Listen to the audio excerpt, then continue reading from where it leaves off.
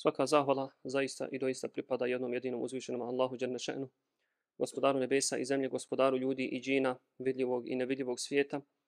Neka je salavat i salam mir i spas na posljednjeg Božje poslanika i miljenika Muhammeda sina Abdullahovog salavatullahi wa salam alej.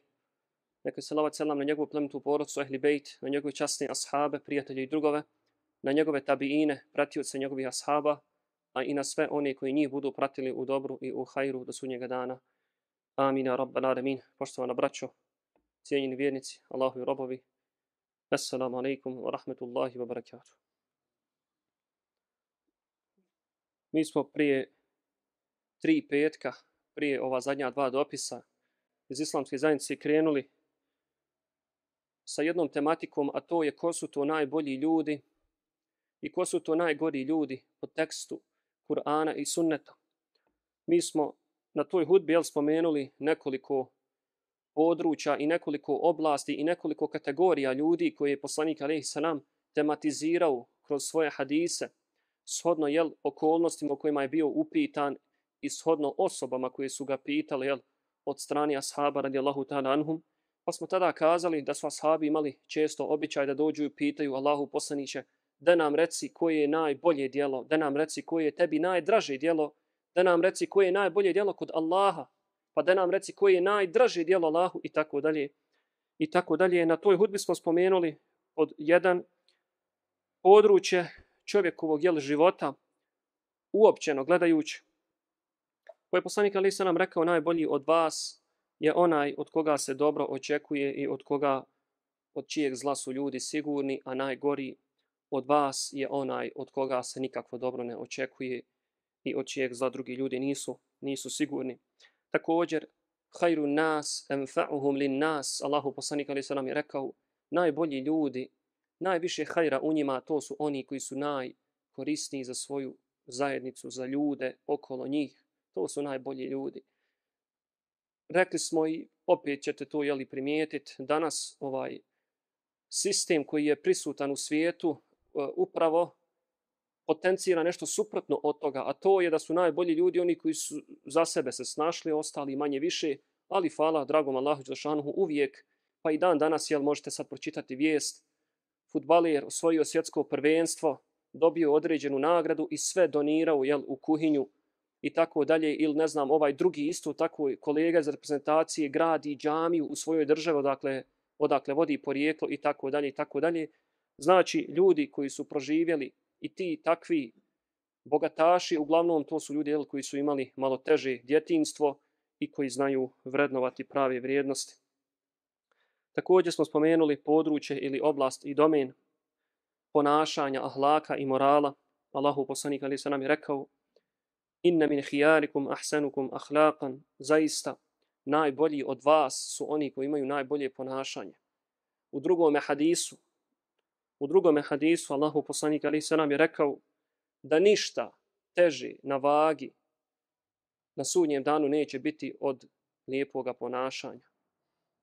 Ni jedna stvar neće biti teža od lijepog ahlaka, lijepog morala i lijepog ponašanja. Vi pogledajte nas, samo bošnjake, nećemo od druge ljude. Na prsta jedne ruke možete pobrojati koliko ste ljudi u životu svom za ovih 30, 40, 50, 20 godina upoznali da kažete subhanala kakav je to čovjek, kakav on ima ahlak i ponašanje. Neki dan sam razmišljajući na ovu temu, ja sam u svom životu možda sreo jednog ili dvojicu takvih ljudi za koje u našim ljudskim domenima i mogućnostima što se tiče, što sam ja lično vidio vrh vrhova, za ne povjero da takvi ljudi mogu da imaju takav edeb, toliku poniznost, toliko su ljudi skrušeni da je sa, znači, samo u samom njegovom prisustvu tebe je stid njega. Sad zamislite kakav je bio Uthman radijallahu ta'ala anhu, drug Allahu poslanika alaihi salam, kad ga je sa Allahu poslanik stidio, pa kad ga Aisha upita, kaže Allahu poslanik je ušao je Ebu Bekr, ti si sjedio i bilo ti je bedro otkriveno, ušao je Omer, ti se nisi ni pomak, ušao je Osman, ti si se odma uspravio. Kaže, pa Aisha, kaže njega se i meleki stide. Koji je to stid bio i ponašanje i ahlak i moral. Dakle, takvi ljudi, braćo, nema puno. Zato je Allah poslanik ali sam rekao nema i ništa teže na vagi na sudnjem danu neće biti od lijepoga ponašanja. Četvrti domen do kojeg smo stigli, inša Allahu ta'ala, jeste hadise Allahu poslanika koji upućuju na to koji su to najbolji ljudi u oblasti ili u domenu preuzetih emaneta i preuzetih odgovornosti. Kaže Ebu Hurire da je Allahu poslanik ali se nam rekao تجدون الناس معادن فخيارهم في الجاهلية خيارهم في الإسلام إذا فقهوا kaže naći ćete ljude da su poput metala najbolji koji su od njih bili u džahilijetu, u neznanju, kaže, oni su najbolji i u islamu. I da feqihu ako svate vjeru. Šta je ti Allahu poslanika, ali nam da rekli? Onaj koji je kvalitetan, on je kvalitetan gdje god da ga postaviš, ako svati to gdje si ga postavio. Ako mu, ako mu se ispravno i kako treba objasni pravila igre na tom drugoj lokaciji, on će i tamo biti, i tamo će biti najbolji odabrani, najodabraniji od vas u islamu su oni koji su bili najodabraniji u džahilijetu. I da fatihu, ako ispravno shvati. وتجدون من خير الناس في هذا الأمر أكرههم له قبل أن يقع فيه. A kaže najbolji ljudi u ovoj stvari. U kojoj stvari? U vodstvu. U preuzetim emanetima i odgovornostima i pozicijama i funkcijama. Šta kaže poslanik? Ko su najbolji ljudi? Šta mislite šta je rekao Allahu poslanik? Oni koji najbolje, koji imaju najbolje osobine liderstva, je tako? Koji znaju dobro odgovoriti malo sutra. Kaže, najbolji su oni koji bježe, kaže, od funkcije. Kaže, najbolji su oni koji najviše preziru da dođu na tu funkciju prije nego što su došli. U jednoj predaji se spominje o jednom pitanju, da jedan ashab postavio pitanje među grupom od 12 ashaba, postavio prvom od njih, ako se ne varam, riječ je bilo, dakle, prvi koji odgovarao je Abdullah ibn Abbas, i kaže se u toj predaji, on je prebacio pitanje na sljedećeg do njega. I tako svaki od njih je prebacivo, nije htio da odgovori, da preuzme taj emanet i vratio se krug ponovo na onog istog čovjeka. Mi danas sjedimo u društvu. Čovjek očigledno osvrće sa jednoj osobi, priča sa jednom osobom, mi ne možemo saburati ni sekunde da mi dokažemo da mi nešto znamo. Da mi bolje znamo. Allahu poslanik je učio dobu za svoga Amidžića Abdullaha ibn Abbas. Allahu moj podarimo razumijevanje vjeri. I on, koji je bio među najučenijim ashabima, prebacuje odgovor na sljedećeg ashaba do njega. Dakle, najbolji ljudi u emanetima, u pozicijama i funkcijama su oni koji najviše preziru da preuzmu uopšte tu funkciju. Koji preziru da uzmu tu funkciju prije nego što su je jel preuzeli. وَتَجِدُونَ مِنْ شِرَارِ النَّاسِ ذَلْ وَجْهَيْنِ الَّذِي يَأْتِ هَا أُولَاءِ بِوَجْهٍ وَهَا أُولَاءِ بِوَجْهٍ A kaže najgori ljudi. To su, kaže, ljudi dvoličnjaci. Sa dva obraza dođu jednim ljudima sa jednim licem, odu drugim ljudima sa drugim licem. Što bi danas ljudi popularno rekli, integriše se. Munafički i licemjerno i dvoličnjaški. Integriše se i asimilira se. Tebi jednu priču, čovjeku iza leđa, drugu priču, onom trećem, treću priču. Kaže poslanik, to su, kaže, najgori ljudi. Koji nemaju svoje ja, koji ne žele stati iza stava, ako ga imaju uopšte, i tako dalje. Hadis je mutefakun alejh bilježi ga šehan, imam Bukhari, imam Muslim. Od Hasana se prenosi da je Ubejdullah ibn Zijad posjetio Ma'qil ibn Jasara kad je bio bolestan. I rekao mu je Ma'qil, kaže, ispričat ti danas jedan hadis koji sam čuo od Allahu poslanika, alaihi sanam. Ma mina abdin jasta'ihi Allahu ra'ijeten jamutu jevme jamutu wa huwa gašun li ra'ijetihi illa harrama Allahu alejhi l'đanna. Kaže, nema ni jednog čovjeka. Ni jednog čovjeka nema, roba, od kojeg je Allah zatražio da preuzme, misli se ovdje, dao mu bereket i na faku da preuzme neki emanet. Nešto što se tiče brigu neku o ljudima. I on kaže na dan kada ga smrt zatekne, pronevjerio, kaže, taj emanet koji mu je Allah dao. Gaš, prevarant, nije ispunio ono za što ga je Allah posadio. Ma koje, nemojte misliti, braću, da se ovdje misli samo na halife, na predsjednike, ministre i na tebe koji krade šarafe iz firme i na tebe se odnosi. Ako si glavni šef na bilo kojem odjelu, tamam za šarafe i ti, i ti se, dakle, i, ti, i na tebe se odnosi ovaj hadis. Često kad se ovakvim hadisma govori, ljudi misle, ah, to je za ove predsjednike, to su lopovi, a ja sam pošten. Kradem šarafe, lažem gazdi, lažem da sam bolestan, da bi otišao da bi otišao na more i da, da bi otišao u Bosnu, lažem mu i uzimam paru, uzimam plaćeni odmor, zato što sam slago, to je u redu. I mi često volimo pričati o nepravednim poslodavcima, o nepravednim ovim onim, a zaboravimo na sebe. Zaboravimo često na sebe. Kako znam? Pa znam zato što svako malo jel dobijem pitanje kakav je propis e, slagat gazdi da sam bolestan, ne znam ni ja, umro mi tamo neki od tečića, tečić, ne znam ni ja, pa treba na dženazu. Subhanallah. Nema ni jednog groba kojim Allah povjeri, povjeri neku skupinu, neki emanet, neku obavezu i on na dan svoje smrti bude u takvom položaju da je pronevjerio, da nije dobro ispunio kako treba. Šta znači pronevjerio, braćo? Neko će sad možda pitati, pa dobro, šta ako ja ne znam da se pronevjerio? Ne odnosi se to na ti. Ovdje se odnosi na ljude koji znaju da vara. Malo prije smo spomenuli definiciju grijeha. To je ono što te tišti u prsima i što ne bi volio da drugi ljudi saznaju. Znači, Allah ti dao neki emanet. Zadužio jednog čovjeka da se ti o njemu brineš. I ti tog čovjeka prevariš. Kako ga prevariš? Uradiš nešto što ne bi volio da on zna da si ti uradio. Jer ako sazna, on će ti reći prevario si me. E to je ta definicija. Kaže, nema nijednog takvog groba, a da mu Allah neće zabraniti ulazak u džennet. Subhanallah. Produ džennet za kesu šarafa, za jedan godišnji odmor, možda heptu dvije, koliko je trebao da ode, pa nije mogo, bilo mu teško mu bilo, jel? Nije mogo nikako propustiti ljetovanje, o Ramazanu nećemo ni pričat. Kad treba uzeti ljetovanje, godišnji odmor za Ramazan, to se ne može. To je već jedna viša matematika.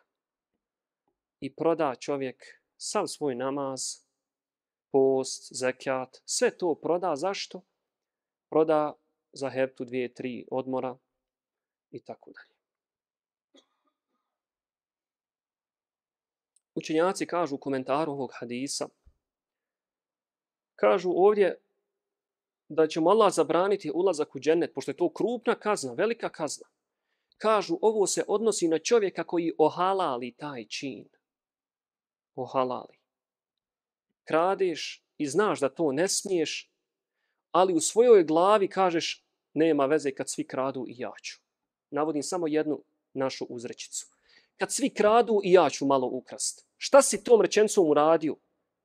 Ohalalio se sam sebi. Ne misli se dakle na čovjeka koji krade i zna da to što krade, zna da je to grijeh.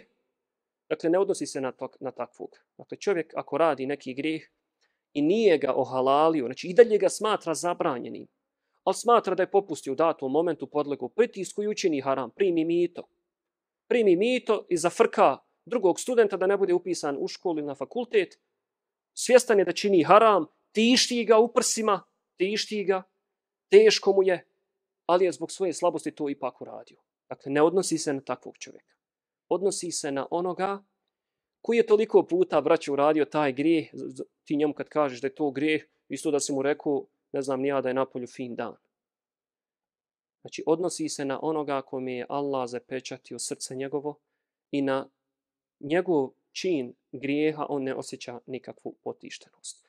Šta je uradio? On je ohalalio to. Znači, to više nije haram kod njega, ni teorijski, ani, a, pogotovo, a pogotovo ne u njegovom srcu. Peta oblast ili peti domen, područje prava ljudi, imovinskih prava ljudi. Mi svaki dan govorimo, ako sam pravio anketu, voliš li ti Allahu poslanika, mođe ćeš me to pita čovječe. Da li ja volim Allahu poslanika? A pogotovo da li volim Allaha dželle, dželle wa ala. Sa'id ibn Hani kaže, čuo sam Irbad ibn Sariju, radijallahu ta'ala anhuma, kaže, prodao sam Allahovom poslaniku, obrate, braćo pažnju, prodao sam, kaže, Allahovom poslaniku, mladog mužjaka od devi. Znači, to je mlađi mužjak, nema možda dvije, tri godine. Kaže, i došao sam da poraču, poravnamo račune ja i Allahu poslanik. Kaže, rekao mi je Allahu poslanik, tamam, dobro, nek si došao, ali kaže, samo da znaš, ja neću poravnati račune s tobom. Ja ću ti dati puno više od toga. Daću ti više, daću ti bolje. To što si ti meni dao, ja ću te vratiti bolje. Kaže, vratit ću ti najbolju sortu od te sorte deve koju si ti meni dao. Kaže ovaj ashab, faqadani fa ahsana qada'i. I kaže, i Allahu poslanik je sve o račun sa mnom i to kaže puno bolje nego što sam ja njemu to, što sam ja njemu posudio i dao i prodao. Dolazi jedan beduin, isto tako, i kaže Allahu poslanik, e'tuhu sinnen, kaže, dadnite mu tu devu odgovarajući godina koju je on nama dao, dolazi ashab koji je bio zadužen od strane Allahu poslanika, kaže Allahu poslaniće, mi nemamo te vrste deve, ti godina, mi samo, kaže, imamo devu koja je ušla u sedmu godinu. Puno veća deva, znači puno starija, puno skuplja na tržištu. I kaže Allahu poslanik je sve s njim račun na takav način. Vratio mu je puno bolje i puno više. Šta mi, braćo, radimo? Dužan čovjeku 5 eura, i dođe čovjek, je, ja došao da mi vratiš oni 5 eura, ruku za džep, eh, ja imam samo 10 eura. Šta mi radimo? Dođi sutra. Ne da bošnjo ni 5 eura viška da si, nema šanse. Dođi sutra. Dođi za mjesec dana, hej, haj kad te vidim u prodavnici ili na poslu ili u džami, ali nemoj Boga da ti ja dajem 5 eura više. To nemoj od nas tražiti. Dakle, takav nije bio, takav nije bio Allahu poslanik ali sallatu sallam. I onda je Allahu poslanik na kraju rekao, kad je ovaj Beduin izrazio svoje čuđenje, rekao je, kaže, inna hijara nasi ahsenuhum qada'en. Kaže, zaista, najbolji od ljudi su oni koji kada vraćaju, vraćaju boljim i većim i skupocijenijim i vrednim. Na području podučavanja i traganja za znanjem, hajrukum men ta'allama al-Qur'ana wa 'allamahu najbolji od vas je onaj koji se sam poduči. Dakle, sam uloži trud i poduči se Kur'anu i poduči druge Kur'anu. To je najbolji čovjek u području znanja. Zašto? Pa zato što taj čovjek, braćo, učenje teđvida, učenje Kur'ana, to je vještina. To nije, braćo, sađenje motika, da ti rekneš, eh, sad ću ja da naučim teđvid i ja ću za pola sata da znam teđvid. Ne. Teđvid je vještina. Vještina koja iziskuje godine i godine učenja Kur'ana svaki dan. Da bi nakon izvjesnog vremena mogao da budeš na nekoj, na nekoj razini. Dakle, taj čovjek koji nauči tako dobro Kur'an i druge počne da podučava u području znanja, dakle, to je najbolji, to je najbolji čovjek. Što se tiče životne dobi čovjeka, kaže poslanik Ali nam najbolji su oni men tale umru wa hasuna amelu. Kaže, najbolji su oni koji Allah poživi. Dadne mu da dug život živi. A kaže, hasuna amelu, kaže, a on kaže, taj dug život iskoristi za što više dobrih dijela. Ne odustani. Dakle, to su najbolji ljudi u kontekstu jel, životnog vijeka.